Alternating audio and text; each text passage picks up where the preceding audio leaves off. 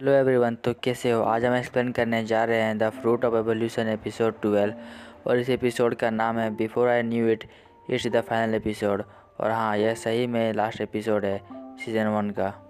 पहले तो हम बात करते हैं कि पिछले एपिसोड में क्या हुआ था। डिमल और आर्मी विम्बर्ग एम्पायर की ओर जा रहे होते हैं और युद्ध छिड़ जाता है। अब आगे। एपिसोड के स्टार्टिंग में सिची और बर्ना को दिखाया जाता है। बर्ना कहता है, वे बहुत सारे हैं। सभी लोग मोस्टर से लड़ रहे होते हैं, केवल राजा सिची और बर्ना को छोड़ के। वे लोग बैटल को ऊपर से देख रहे होते हैं। तब हमें पता चलता है कि वे लोग फीका पड़ गए हैं डेमंस के आगे। और सिची कुछ सोच रहा होता है कि कैसे वह उन सबको रोक सके।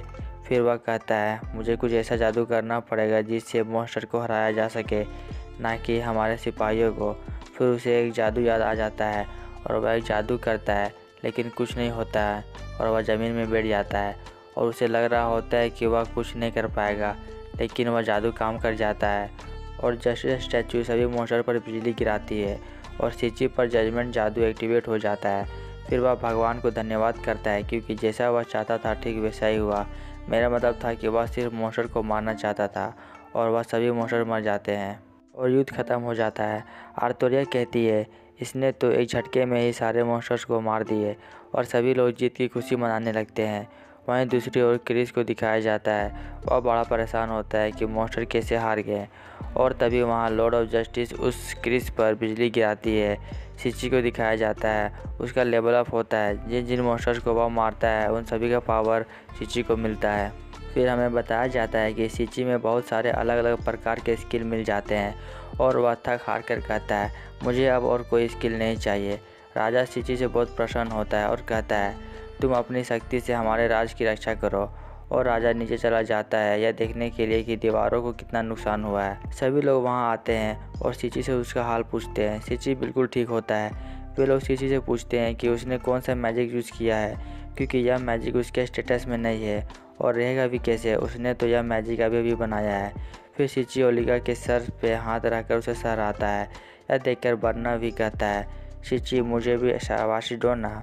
फिर वह सीरियस आवाज़ में कहता है, मेरा मतलब यह नहीं था। वह चाहता था कि सिची उसके एकेडमी का टीचर बने। कानाजुकी को दिखाया जाता है। उसे देखकर सभी स्टूडेंट्स अपना नज़र नीचे कर लेते हैं और यह देखकर कानाजुकी को अच्छा नहीं लगता, लेकिन वह कर भी क्या सकती थी? बरना सिची से पूछता है तुम्हारा क्या ख्याल है टीचर बनने के बारे में? सिची को समझ में नहीं आता है कि बरना ऐसा क्यों चाहते हैं। तब बरना बताता है सिची ने जो स्पेल यूज़ किया है मॉन्स्टर्स को मारने के लिए, वह बहुत प्रीसियस मैजिक है और यह उसने खुद बनाया है। यहाँ तक कि बरना के बस में भी यह नहीं है। फिर बरना सिची से कहता है, मुझे भी यह मैजिक सिखा दो। फिर किसी तरह सिची उसे समझाता है कि यह पॉसिबल नहीं है बरना पूछता है, आखिर क्यों? सिची बताता है, उसने लूसी को एक प्रॉमिस किया है, जब तक वह यहाँ वापस ना आ जाए, तब तक वह यहाँ से जा नहीं सकता बरना उसके बातों को समझ जाता है। फिर बताया जाता है कि सिची भी नहीं चाहता है कि वह अपना दोस्तों को छोड़कर जाए। फिर बरना बोलता है, कैसा हो अगर सारिया मेरे एकेडमी में आए, एक स्टूडेंट बनकर, और आर्तोरिया आए एक टीचर बनकर। वहीं लुलू ने एक मार्शल आर्ट टीचर बनकर आए या फिर एक स्टूडेंट बनकर, कोई फ़र्क नहीं पड़ता। और ओलिगा उसके असिस्टेंट बनकर आए, ऐसा वह बनना चाहता था। तब सिची कहता है, अगर यह आपका इच्छा है तो ठीक है, मैं आपके रास्ते में नहीं आऊँगा। सारिया उसकी बातें सुनकर वह एग्री हो जाती है। वहीं आर्तोरिया और लुलू ने बताती है, जहाँ पर भी सिची जाएगा, वहाँ ये दोनों भी जाने को रेडी है। फिर ओलिगा कहती है, जहाँ कहीं भी सारे लोग जा रहे हैं, वहाँ मैं भी जाऊँगी। फिर बरना बताता है तो तय हो गया है कि हम सभी लोग मैजिक एकेडमी जाएँगे, जब लूसी वापस आएगी। सिची को खुशी होती है क्योंकि उसे दोबारा स्कूल लाइफ जाने का मौका मिलेगा। सीन चेंज होता है। लुलू एक शॉप के बाहर होती है और उसे यकीन नहीं हो रहा होता है कि सिची उसे कुछ अच्छा खाना खिलाने जा रहा है। सिची कहता है, अभी लूसी को आने में कुछ दिन लगेंगे। लुलू खाना खा रही होती है। तब सिची सोच रहा होता है, हमारे पास अभी कुछ दिन बाकी है मैजिक एकेडमी जाने के लिए। फिर वह सोचता है कि जो दिन उसके पास बचे हैं, उन दिनों में वो सबको डेट पे ले जाएगा।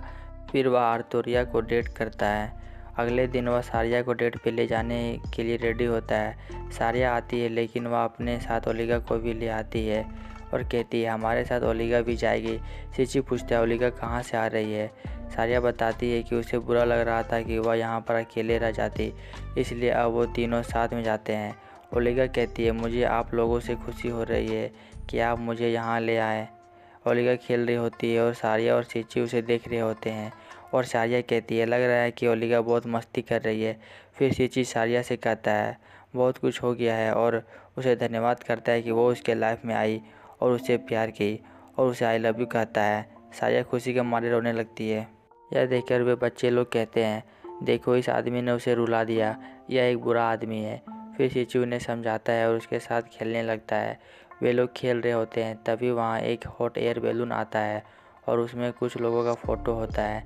शिची उनमें से एक लड़की को पहचान लेता है। सीन चेंज होता है, मार्केट प्लेस का सीन दिखाया जाता है। सभी लोग एक जगह इकट्ठा होते हैं और एक आदमी अनाउंस करता है। आप सभी को इंतज़ार करने के लिए माफ़ी चाहता हूँ और अब पेंटिंग शो स्टार्ट होता है। फिर अनाउंसर एक आदमी से मिलाता है। वह आदमी इस शो का जज होता है और वह आदमी टैलेंटेड आर्टिस्ट होता है। मैं बता दूँ कि उसका नाम लियोन बर्गर होता है। सिची को उसका नाम कहीं सुना सुना सा लगता है। फिर पेंटिंग कंपटीशन स्टार्ट होता है और सबसे पहले क्ले बर्गर आता है। तब सिची को होश आता है कि उसने बर्गर का नाम यहाँ से सुना था। क्ले बर्गर एक आर्ट दिखाता है। लोगों को यह पेंटिंग समझ में नहीं आता है। तब आर्तोरिया कहती है सिची तुम्हारा दोस्त तो एक शानदार कलाकार है। सारिया को वह पेंटिंग एक सन जैसा दिखता है वहीं लुने को वह पेंटिंग एक एप्पल जैसा दिखाई पड़ता है क्ले बताता है कि उसने यह पेंटिंग अपने फीलिंग से बनाया है। फिर अनाउंसर फाइनल कॉन्टेस्टेंट्स को बुलाता है। वह मैं होती है। वह स्टेज में बहुत नर्वस दिखाई देती है। फिर मैं अपना आर्ट दिखाती है। उसने सिची का पेंटिंग बनाई होती है। यह देखकर सभी लोग इम्प्रेस हो जाते हैं, लेकिन सिची शर्मा रहा होता है। मैं बताती है। उसने उस शख्स की पेंटिंग बनाई है, जिसने उसे इस पेंटिंग कंपटीशन में भाग लेने के लिए हिम्मत दिया है, और वह शख्स और कोई नहीं सिची होता है। फिर हमें पता चलता है कि मैं सिची को एक हीरो मानती है और उसे धन्यवाद करती है, क्योंकि उसी की वजह से मैं चैलेंजेस को फेस करना सीख जाती है। सिची यह सुनकर मन ही मन खुश हो रहा होता है।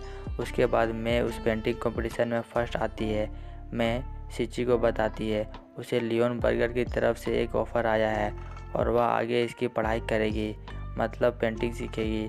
फिर मैं नाराज़ होकर कहती है, मुझे यह सिटी छोड़ना होगा क्योंकि वह कहीं और जा रही है पेंटिंग सीखने के लिए।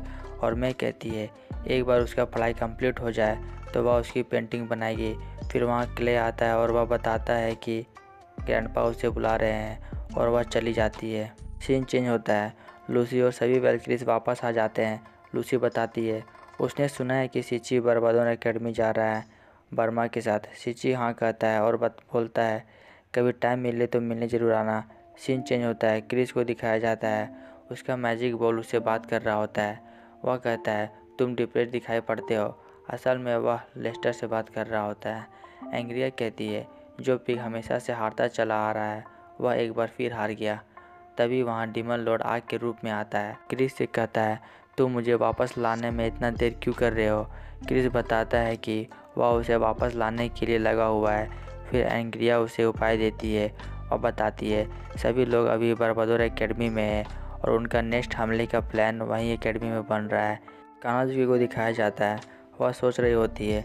जब वह एकेडमी में घूम रही होती है, तब उसे एक लड़की मिलती है, जो सिची को ढूंढ रही होती है। कानाजुकी उसे पूछती है, वह सिची को क्यों ढूंढ रही है? वह बताती है सिची ने उसकी मदद की थी बहुत साल पहले, इसलिए वह उसे मिलना चाहती है। सीन चेंज होता है। सिची एकेडमी जाने के लिए तैयार होता है और सभी लोग उसकी तारीफ़ कर रहे होते हैं और सिची वहाँ से निकल पड़ता है। जब वह जा रहा होता है, तब उसे एक आदमी मिलता है, लेकिन सिची उसे नहीं जानता है और वह आदमी बताता है कि वह नेक्स्ट सीज़न का मेन कैरेक्टर है और यह एपिसोड यहीं पे ख़त्म हो जाता है और सीज़न वन का दी एंड हो जाता है। थैंक्स फॉर वॉचिंग और ऐसे ही सपोर्ट करते रहें।